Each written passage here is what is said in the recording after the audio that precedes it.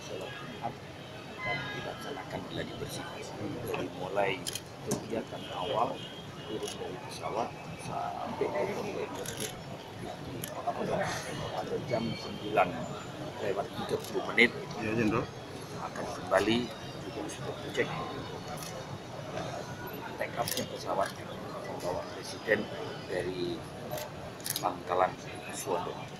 Izin Jenderal, jumlah personel yang siaga. 200 personil terdiri dari Angkatan Darat, Angkatan Laut, Angkatan Udara, Untuk sniper sendiri, Jenderal, Sniper sudah disiapkan setiap plek.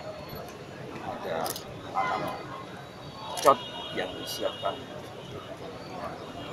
travel di situ sudah diantisipasi. Pengamanan. PTPN dan rute perjalanan sampai ke lepas depan lapangan benteng banteng. gimana? Saya yakin rakyat Sumatera Utara tidak ada yang merasa clear. Eh,